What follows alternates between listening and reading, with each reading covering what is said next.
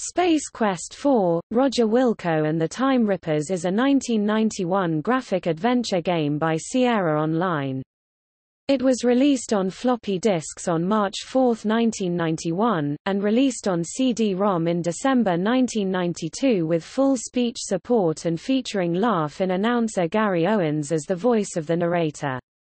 It featured 256 color hand-painted graphics and a fully mouse-driven interface. It was one of the first games to use motion capture animation. The game cost over $1 million to produce and sold more than its three predecessors combined. An Atari Street version was announced via Sierra Online's magazine, Sierra News Magazine, but was later cancelled.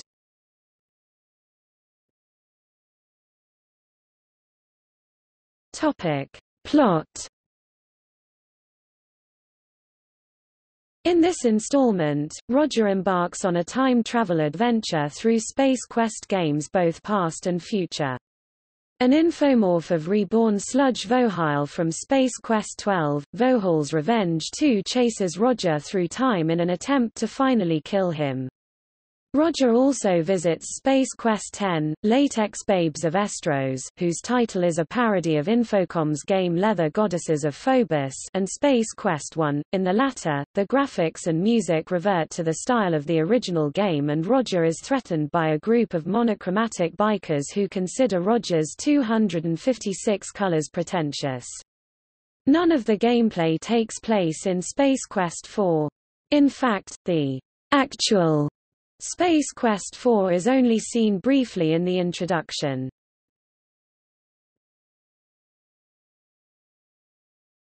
Topic: Gameplay.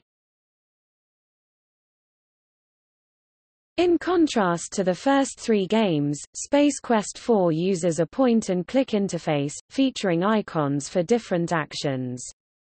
The icons are an eye, a talking head, a walking person, a hand, a mouth, and a nose, representing look, talk, walk to, use, taste, and smell, respectively.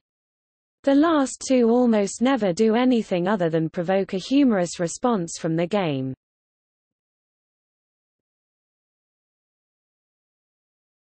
Topic: Ms. Astro Chicken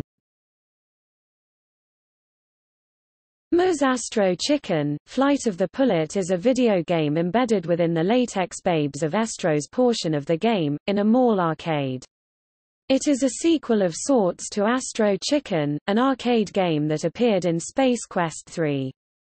The game's name is a parody of the actual arcade game Ms. Pac-Man. The Astro Chicken theme music is a variation on the Chicken Reel, a traditional folk song best known for its use in animated cartoons. In the game, the player controls a flying chicken, whose enemies include flying squirrels, wind pumps, shotgun-wielding hunters and hunting dogs. Dropping eggs on enemies immobilize them and increases the player's score. After playing the game for a while, the arcade cabinet explodes, though this has no effect on the player or broader game.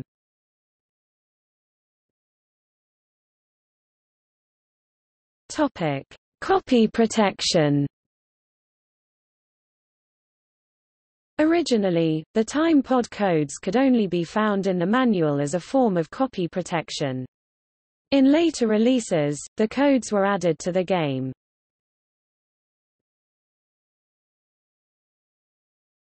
Topic: Reception.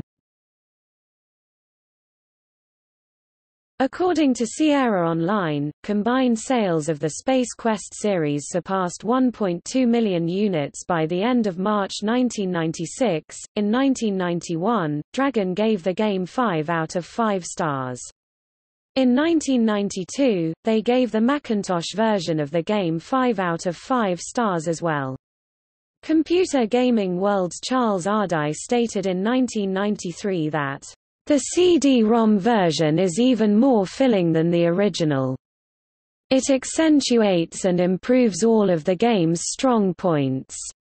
with Owens and others providing much better voice acting than in King's Quest V while noting that the CD-ROM did not change the brevity of the gameplay, Ardai added that, There are better adventure games than Space Quest 4 but there are few games that are more entertaining. Fewer still are improved so much in the transition to CD-ROM.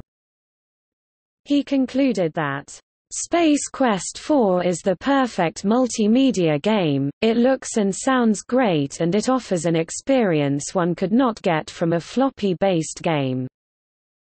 In April 1994 the magazine said that the CD version's voices, "...bring Roger Wilco's campy world to life one of his finest and funniest adventures." In 1996, Computer Gaming World named Space Quest IV as the funniest game ever made. The editors wrote that it transformed every sci-fi time travel cliché with Gary Owens' voice, providing the perfect comedic counterpoint. In 2011, Adventure Gamers named Space Quest 4 the 48th best adventure game ever released.